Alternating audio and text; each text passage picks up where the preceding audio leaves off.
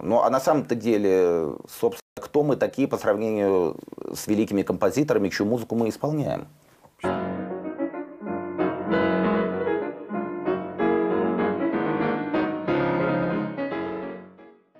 Музыку слова я ощущал всегда. Другое дело самому писать, что я начал делать не так давно.